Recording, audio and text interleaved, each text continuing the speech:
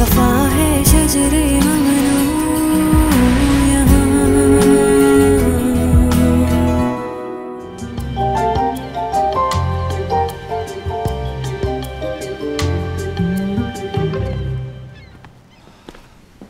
आप ऐसे अकेले क्या कर रही हैं? पूरे घर में ढूंढ रहा था मैं आपको।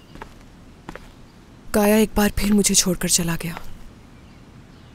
हम अपनी ज़िंदगी में कई बार बुरा वक्त देख चुके हैं आपा। खुद को संभालें आप एक बहादुर औरत हैं। जानते हो ज़िंदगी ने मुझे प्यार निभाने का एक दूसरा मौका दिया था लेकिन मैंने गवा दिया उसे। हम्म, इस बार काया पे गुस्सा नहीं है मुझे बिल्कुल।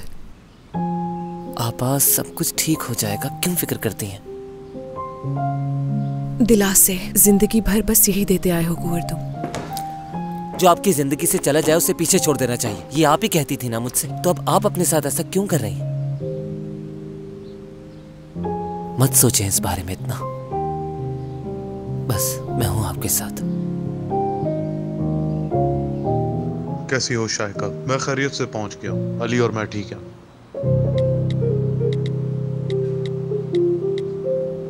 ओके भाई। मेरा प्यार दीजिएगा अली को।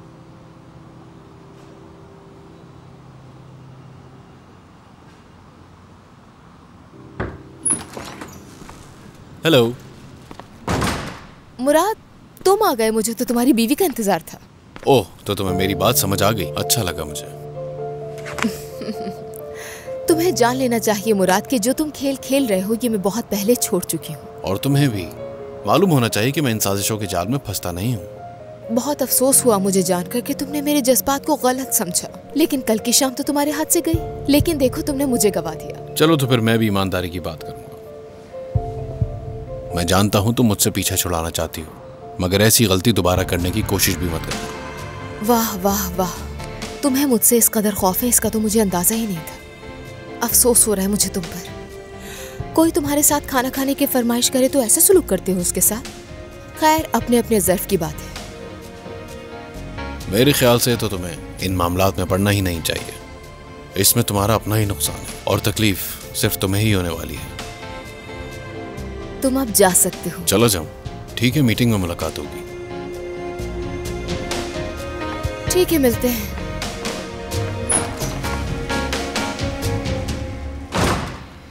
ये काम आसान नहीं है। लेकिन कोई बात नहीं।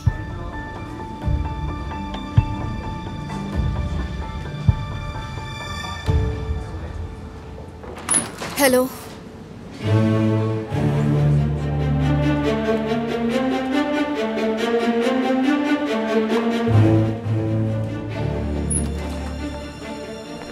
हेलो आलिया शाहिका मुराद बैठ जाओ।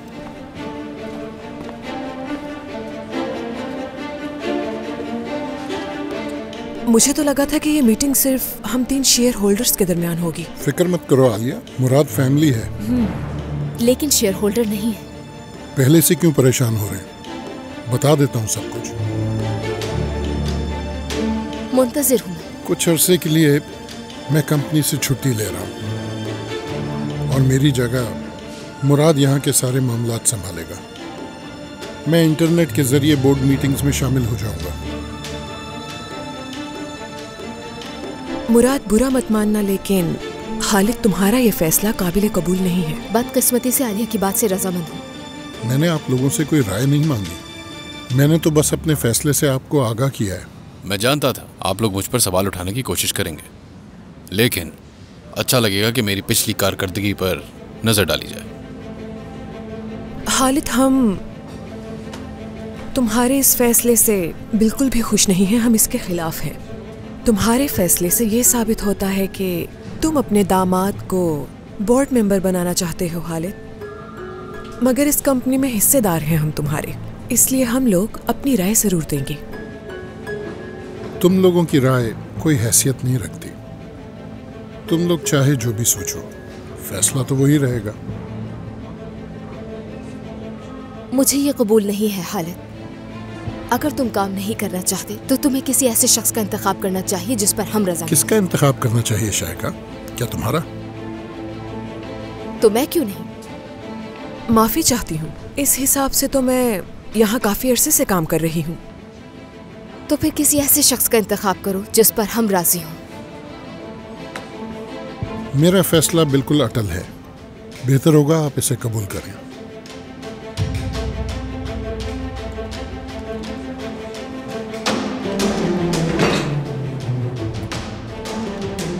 मेरे हिसाब से ये मीटिंग खत्म हो चुकी है।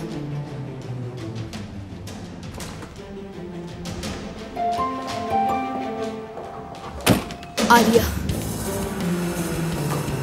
हमें बात करनी चाहिए। हाँ ठीक है। अगर यही सब होता रहा तो मुराद के पास सारे अख्तियार चले जाएँगे। मुझे तो समझ में नहीं आ रहा कि खालिद मुराद पर इतना ज़्यादा भरोसा कैसे कर सकता है? मुराद जानता है कि यहाँ पर कैसे टिकना है और वो ये भी जानता है कि हम मुखालिफ हैं उसके। ठीक है शाहिका। तो अब हम क्या करें? खालिद से बात करेंगे हम। क्या कहेंगे? हम उसे बताएँगे कि मुराद एक बदनीयती आदमी है। वो पैसे के लिए कुछ भी कर सकता है। पैसों की खातिर उसने सबसे करीबी दोस्त के साथ क्या किया था? मगर इस वक्त मुराद हालिद की नज़र में हीरो बना हुआ है। मुराद ने उसे बड़े खतरे से बचाया ऐसा लगता है खालिद को। फिर हमें क्या करना चाहिए आलिया? क्या हम उसे यूँ सीढ़ियाँ चढ़ते देखते ही रहेंगे क्या? बिल्कुल नहीं। मेरे ख्याल से जब मुराद घर पर नहीं होगा तो हालिद से बात करनी होगी हमें और उसे समझाएँगे। इसके अलावा तो मुझे कोई और रास्ता दिखाई नहीं दे रहा है। ठीक कह रही हो तुम।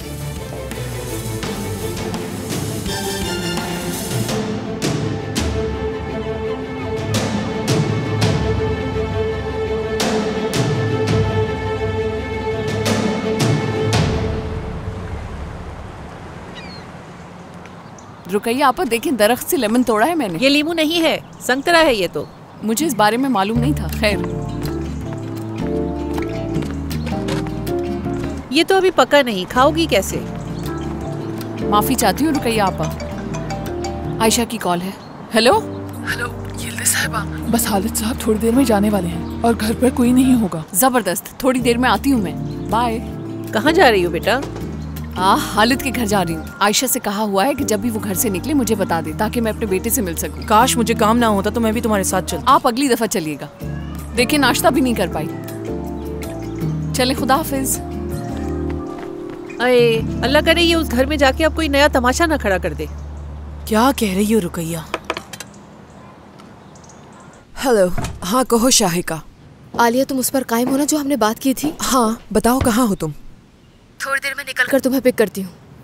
फिर देखते हैं कि हालिद इस वक्त कहाँ है और हमें हालिद से क्या बात करनी चाहिए ठीक है ना?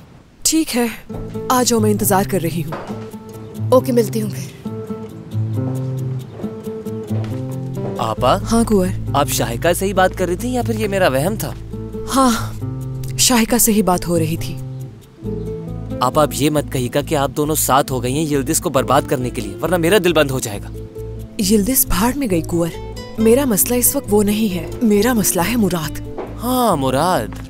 यानी हमारा नया दुश्मन। हालिद को पूरी तरह अपनी तरफ़ कर दिया है उसने। और हालिद इतना बेवकूफ़ है कि अपने सारे इख्तियारात उसे दे रहा है। तुम्हें क्या लगता है ये कबूल कर लूँगी मैं?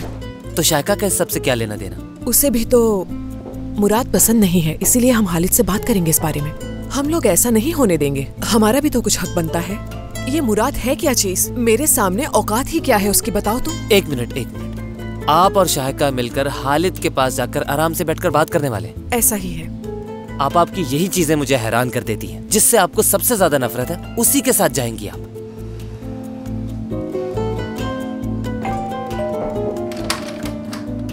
आयशा कोई है तो नहीं घर नहीं पर? कोई नहीं है घर पे। आ जाए। क्या कर रहा है मेरा बेटा? शायद उसे पता है कि आप आने वाली हैं और शायद इसीलिए सोया भी नहीं अब तक वो। हाई मैंने अपने बेटे को बहुत याद किया है आयशा। ये मेरा बैग कहीं रख दो मैं अपने बेटे से मिलने जा रही हूँ।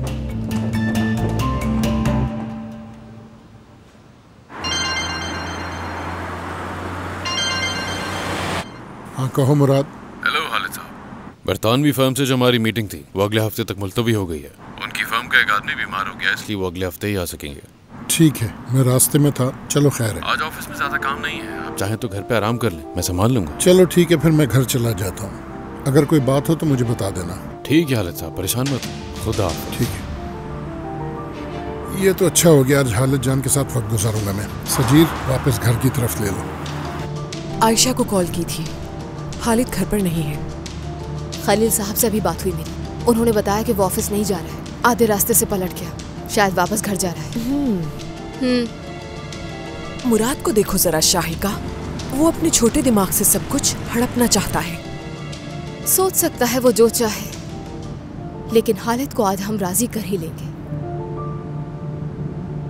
हो मेरी जान। तुम तो मेरी जान हो। उम, आ जाओ। प्यारे बेटे हो मेरे प्यारे।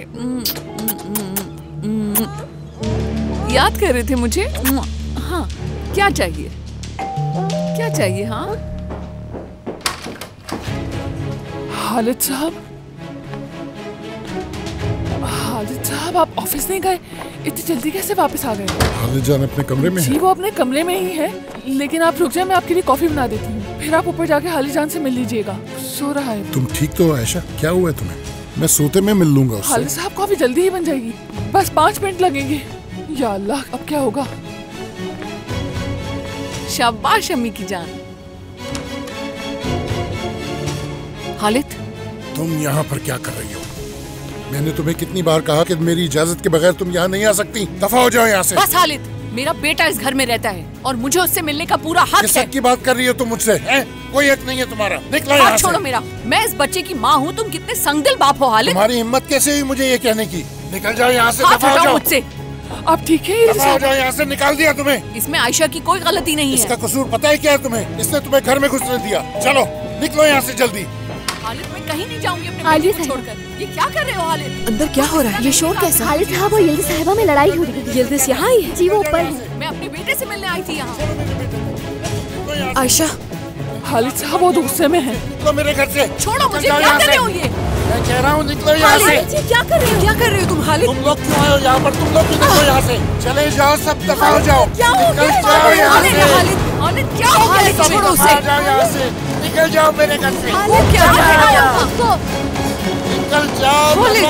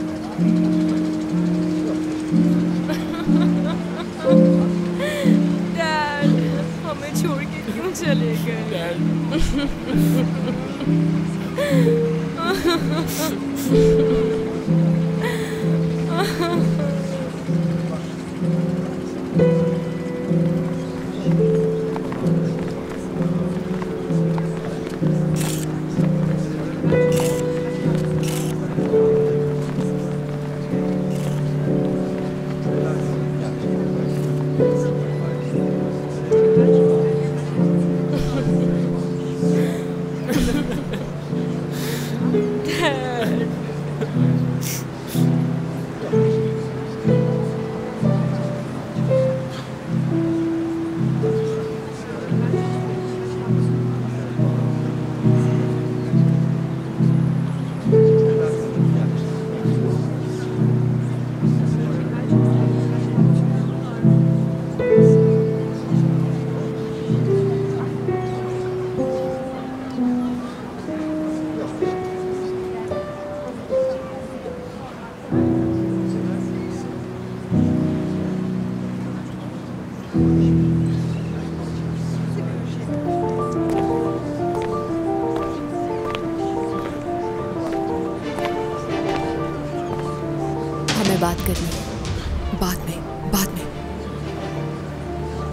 के बाद मेरे घर आ जाना। यिल्दिज को मैसेज करके बता दो जनाजे के बाद बाहर मिलते हैं। ठीक है अभी तुम जाओ यहाँ से वरना सबको शक हो जाएगा।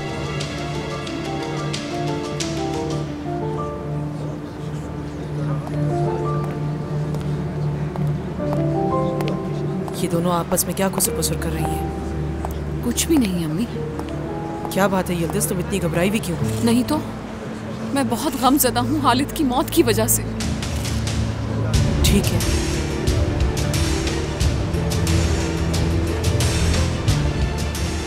आपा शाहिका क्या कह रही थी आपसे? कुछ नहीं वो ऑफ़िस की बात थी।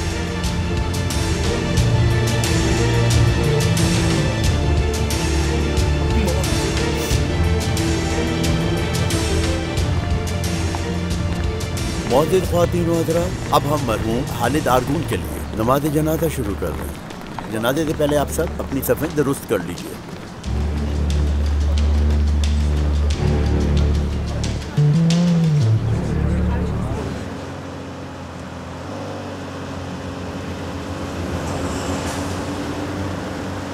क्या तुम ठीक हो? ठीक नहीं हूँ। मुझे बिल्कुल भी यकीन नहीं आ रहा है। मुझे नहीं लगता कि मेरे डैड की हादसाती मौत हुई है। याद रखना तुम अकेली नहीं हो मैं हमेशा तुम्हारे साथ हूँ। अब हम सब क्या करेंगे? डैड के जाने के बाद हम अपनी ज़िंदगी कैसे गुजारेंगे? मैंने तो कभी सोचा भी नहीं था कि ये सब हो जाएगा हमारे साथ। कैसे रहूँगी मैं? डैड हमें छोड़ के क्यों चले गए मुराद? तुम्हारा कहना बिल्कुल ठीक है जहरा। इस बात का मुझे भी बहुत खबर है। कितना अचानक हो गया सब। कुछ समझ नहीं आ रहा मुझे। ये सब मुझे ख्वाब सा महसूस हो रहा है। लग रहा है कि मैं उठूँगी और सब ठीक हो जाएगा। बस थोड़ा सब्र से काम लेना होगा। सब ठीक हो जाएगा। अपने बहन भाई की फ़िक्र मत कर। मैं हूँ तुम सबके साथ ठीक है? शुक्र है कि तुम हो। बस अब रोना बंद करो।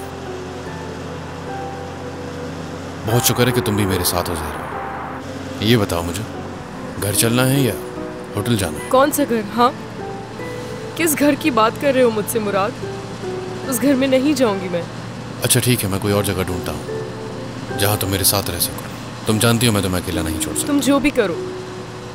ठीक है लेकिन मुझसे कुछ नहीं पूछना। तुम जो जगह ढूंढोगे हम वहाँ शिफ्ट हो जाएँगे। परेशान मत हो तुम जहरा। सब ठीक हो जाएगा।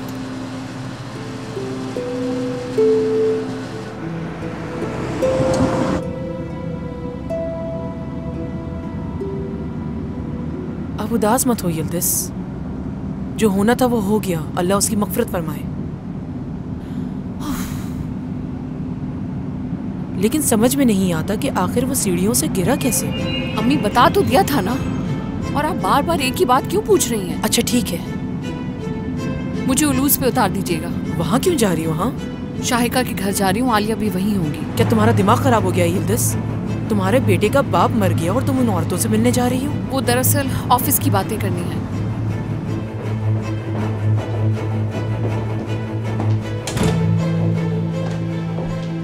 कुछ मंगवाऊं तुम्हारे लिए आलिया? मैं मेहमान बनकर यहाँ नहीं आई हूँ। तुम्हें जो कहना है जल्दी से कहो। वैसे ही मेरे सर में बहुत दर्द हो रहा है। ठीक तो मैं भी नहीं हूँ आलिया। यिल्दिस को आने तो फिर बात करते हैं। मेरा प्यारा बेटा मुझसे तो करीम का चेहरा ही नहीं देखा जा रहा था। बाप को खोना आसान नहीं होता जानती हूँ। जब मैंने अपने बाबा को खोया था तो मेरी भी बहुत बुरी हालत थी लेकिन आदत हो जाती है। तुम्हारे बाबा बूढ़े होकर मरे थे शाहिका। हालिद भी अपनी पूरी उम्र जी कर गया है आलिया। शाहिका खुद को इसी तरह मुतमिन करती हो ना तुम? आलिया मुझसे संतास में बात करने की ज़रूरत नहीं है। यिल्दिस होगी।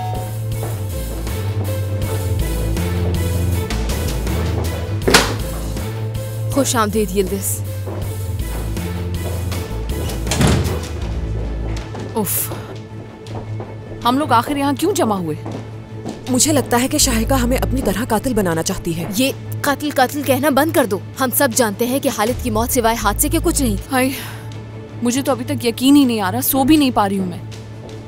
अगर तुम लोग इस तरह से बातें करती रहोगी तो न जाने क्या कुछ निकल जाएगा तुम्हारे मुँह से। तो तुम्हें इसी बात का डर है है ना? तो डरो मत। हम में से कोई भी ये राज फाश नहीं करेगा। क्योंकि अगर डूबेंगे तो सब के सब साथ ही डूबेंगे। मुझे तुम दोनों पर बिल्कुल भी भरोसा नहीं है। हम पर क्यों भरोसा नहीं है? हम लोग बयान रिकॉर्ड करवा चुके हैं। यह सब कैसे हुआ था? आ, मेरा बेटा उस घर में मैं उसी से मिलने गई थी और हालत आ गया। वो आलिया और मैं वहाँ काम के हवाले से बात करने के लिए गए तो मैं और शाहिका ऊपर चले गए थे उससे मिलने। बात करनी थी हमें उससे। आलिया और शाहिका जब वहाँ आए तो मैं जाने वाली थी। वैसे भी उन्हें ऑफ़िस की बात करनी थी हालिद से। मुझे समझ ही नहीं आया कि उसके बाद क्या हुआ। वो अचानक गिर गया। पाँव फिसला और वो गिर गया। पकड़ने की कोशिश की थी मगर अफसोस। वहाँ कोई लड़ाई झगड़ा हुआ था? नहीं। नहीं। नहीं। लेकिन घर की मुलाजमा को तो कहना है कि वहाँ लड़ाई झगड़ा हो रहा था और बाद में उसने बयान बदल लिया। मैं जब भी अपने बेटे से प्यार करती हूँ तो मेरी आवाज़ ऊँची हो जाती है। हालिद की भी आदत कुछ ऐसी ही थी। शायद इसीलिए उसे लगा होगा कि हम लड़ रहे थे।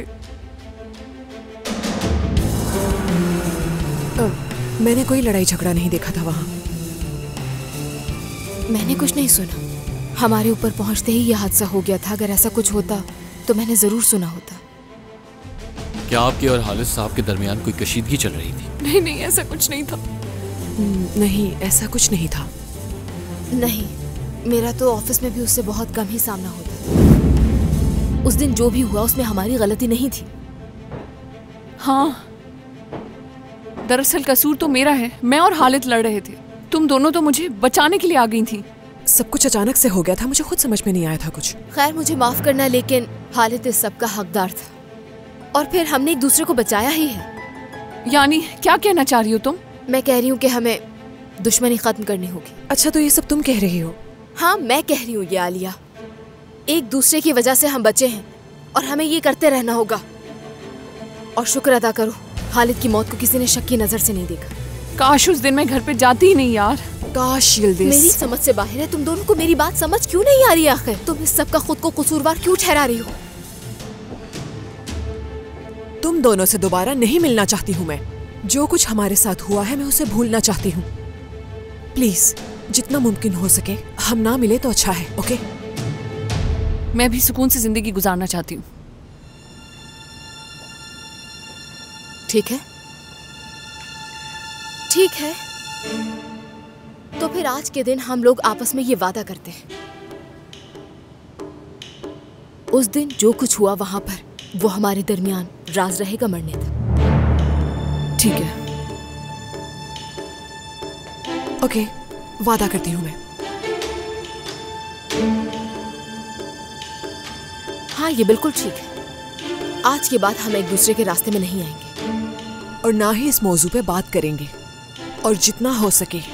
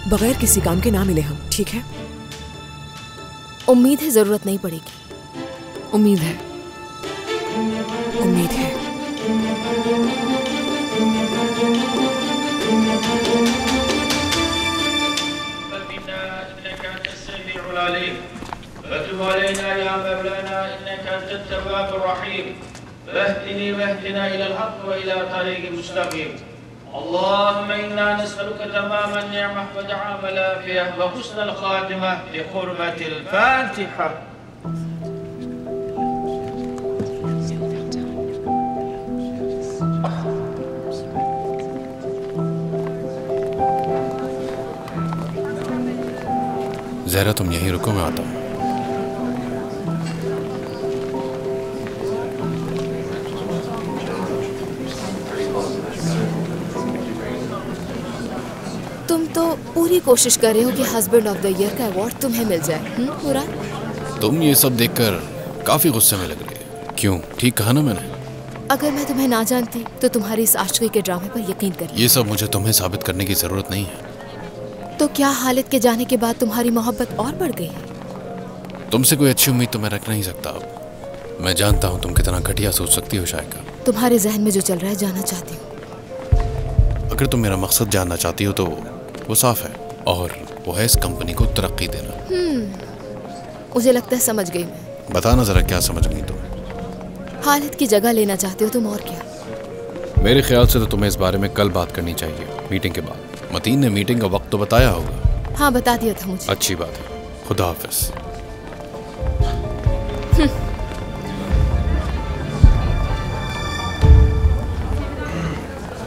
मैं बच्चों से मिलकर आती हूँ फिर साथ में चलती हूँ अम्मी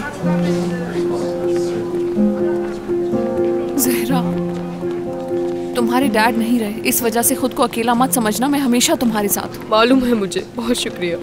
तुम्हारा जब भी दिल चाहे मुझसे मिलने आ सकती हो और हालिद जान को भी मिलवाती रहूँगी वहाँ नहीं लाओगी तुम उसे क्योंकि अब उस घर में मैं भी नहीं रह पाऊँगी। हाँ सही कह रही हो। काश मैं तुमसे कह सकती कि तुम मेरे साथ आकर रह सकती हो। यिल्दिस तुम्हारा बहुत शुक्रिया। मुराद कर लेगा कुछ ना कुछ। देखो मैं जानती हूँ ये मुनासिब वक्त नहीं है लेकिन ज़िंदगी भर मुकम्मल उस पर भरोसा मत करना। मुराद मेरा शोहर है। हाँ मैं जानती हूँ तुम्हारा शोहर है मगर उस पर हरगिज भरोसा मत करना। तुम्हारे डैड भी नहीं रहे और मैं भी तुम्हारे साथ नहीं रहती तो तुम्हें खुद का ख्याल रखना ठीक है ठीक है मैं अपना ख्याल रख लूँगी मगर मुराद बिल्कुल ऐसा नहीं है। ठीक है जैसी तुम्हारी मर्ज़ी। आ जाओ गले मिलो मुझसे। हाय मेरी जान। फ़ोन करती रहना हाँ? लैला मेरी जान। ये बात कभी ना भूलना कि हम लोग एक फैमिली हैं। तुम लोग जब चाहो मुझसे मिलने आ सकते हो और याद रहे कि तुम लोगों का एक भाई भी है हालिद जान। जी ज़रूर परेशान ना हो आप। शुक्रिया साहबा। आते रहना ठीक है? ठीक है। आओ गले मिलो मुझसे।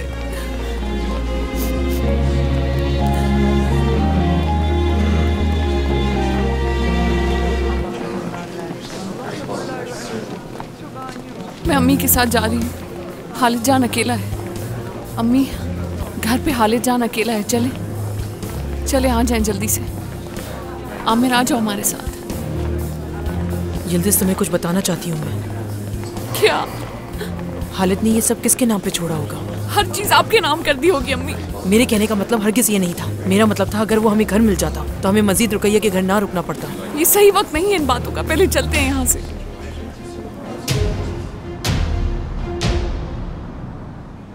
हालिद साहब की तमाम जायदाद उनके चारों बच्चों में बराबर तकसीम की जाएगी। करीम साहब का जायदाद में जो हिस्सा है, वो उन्होंने आलिया साहिबा का नाम कर दिया है। और लैला साहिबा का जायदाद में जो भी हिस्सा बनता है, वो उन्होंने मिस जहरा को दे दिया है। जी, बिल्कुल। मुझे तो इन सब बातों की कोई समझ नहीं है। इसीलिए मैंने अपने और लैला के शेयर्स अपने शोहर मुराद को दे दिए हैं। और अब बात की जाए बाकी शेयर्स और जायदाद की तो वो उन्होंने हालिद जान के नाम कर दी है जो फ़िलहाल हालिद फाउंडेशन के पास रहेगी। जब हालिद जान 18 बरस के हो जाएँगे तो वो उनके सुपुर्द कर दी जाएगी। क्या? समझी नहीं मैं। कैसी फाउंडेशन हालिद साहब की वसीयत में साफ़ साफ़ लिखा है कि जब हालिद जान 18 बरस के हो जाएँगे जब ही वो अपनी मलकियत पा सकेंगे। और तब तक हम क्या करेंगे? उसे पत्थर खिलाएँगे क्या? फाउंडेशन इस बात का फैसला करेगी कि हालिद जान की ज़रूरत कितनी है। उसके मुताबिक ही हर माह रकम फराहम की जाएगी। यकीनन वो कम रकम ही होगी है ना मतीन? यल्दिस साहबा ये तो फाउंडेशन ही देख कर फैसला करेगी कि एक साल के बच्चे का खर्चा कितना हो सकता है। मगर उस खर्चे के मुताबिक आधी रकम आपको मिलेगी। मुझे यकीन नहीं आ रहा। ठीक है गिलदिस तुम परेशान क्यों हो रही हो? मैं हूँ ना। मैं पूरा ख्याल रखूँगी खालिद जान का। जहरा मेरी जान हर किसी को लाखों करोड़ों की जायदाद मिल गई और मैं खाली हाथ रह गई कुछ हाथ ना आया मेरे। खैर अब इस मीटिंग में बैठना मेरा बेकार है। तुमसे बाद में बात करूँगी मतीन। जी बेहतर यल्दिस साहबा। क्या बात है? हालिद तो लगता है मरने के बाद भी बदला लेना नहीं छोड़ेगा हमसे। सलाम पेश करना चाहिए उसे। हाँ आगे बताइए मदीन साहब। अब कंपनी की बारीकियों के हवाले से बात कर लो।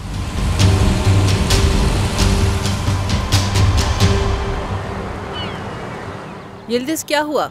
जहाँ जॉब के लिए इंटरव्यू दिया था वहाँ से कोई जवाब आया? नहीं आज एक और इंटरव्यू पे जा रही हूँ। इंशाल्लाह वहाँ काम हो जाएगा। अगर वो ड्राई क्लीनर वाला काम हमें मिल जाता है तो हम अपने साथ कुंवर और आमिर को भी लगा सकते हैं। अम्मी आप इस काम को भूल जाइए हम ये काम नहीं करने वाले। नहीं भूल सकती यिल्दिस। वो इसलिए क्योंकि मैंने सोचा था हालिद साहब के मरने के बाद हमें कुछ ना कुछ मिल जाएगा और हमारी ज़िंदगी सुकून में आ जाएगी। फ़िक्र मत करें अम्मी मुझे बहुत जल्द एक अच्छी नौकरी मिल जाएगी फिर पैसे ही पैसे। अल्लाह करे ऐसा ही हो। आप सबका आने का शुक्रिया। जैसे कि आप जानते हैं हमारी कंपनी नुकसान में जा रही है। हालिद साहब की मौत के बाद हमारे जो बाहर मुल्क के साथी थे उन्होंने साथ छोड़ दिया है और यही वजह है नुकसान की। मेरे ख्याल से ये सब कुछ वक्ती है। आलिया साहिबा अगर आप ग्राफ देखें तो हमारी कंपनी दिन ब दिन नीचे से नीचे होती जा रही है। और मेरी जो दो महीने से कोई कंपनी से डील चल रही थी उसका भी अख्ताम हो गया है। मुराद ये जो तुमने बात की है ये मुझे कुछ समझ नहीं आई। हाँ तो समझ ले। मैं इस कंपनी के। कुछ शेयर्स उनको बेचना चाहता हूँ। एक मिनट एक मिनट। हाँ, हाँ। क्या तुम इस बात को लेकर संजीदा हो कि तुम कंपनी के शेयर्स बेचना चाहते हो? हुँ? मगर माफ़ करना मैं अपने शेयर्स नहीं बेचूँगी। अगर आप नहीं बेचेंगी तो आप ही का नुकसान होगा आलिया। हम बहुत जल्द बैंक होने वाकई में? तो ये बात है। इसका मतलब तुम कंपनी संभाल नहीं पा रहे हो मुराद। आप सरासर गलत समझ रही हैं आगे। मुझे गलत मत समझिएगा मैं अपना काम बखूबी जानता हूँ और मैं इस कंपनी को बचाने की कोशिश कर रहा हूँ। ठीक है मुराद क्या तुमने कोयो होल्डिंग के बारे में जानने की कोशिश की है? उसका सीईओ कैसा है? जानते हो? तहकीक करवाई है मैंने और मैं हर खतरा मोल ले सकता हूँ। हाँ बिल्कुल। तुम तो खतरा मोल ले सकते हो ना? शेयर्स जो नहीं है तुम्हारे अपने और तुम्हें जो खैरात में जायदाद मिली है उससे खेल रहे हो तुम। आलिया साहिबा आपसे बहस नहीं करना चाहता हूँ मैं। उनका नाम हसन अली कोयो है उनका ताल्लुक अदाना से। वो कुछ अर्सा इस्तांबुल में रहे और फिर अदाना वापस चले गए थे। वो वहाँ के कामयाब और अमीर तरीन इंसान है और हाल ही में उन्होंने अपना हेडक्वार्टर्स इस्तांबुल मुंतकिल किया है। और इसकी वजह यह है कि वो फैल्कन एविएशन में दिलचस्पी रखते हैं।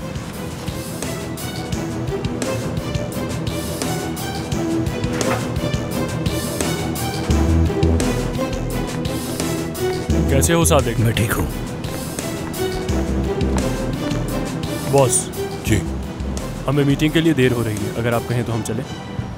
अभी नहीं। जितनी देर से पहुँचेंगे वहाँ उतनी ही अहमियत बढ़ेगी हमारी।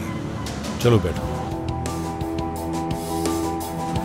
साथ एक। जी बॉस। जरा जल्दी से चाय का बंदोबस्त करो। मेहमत भी पिएगा। दो ले आना।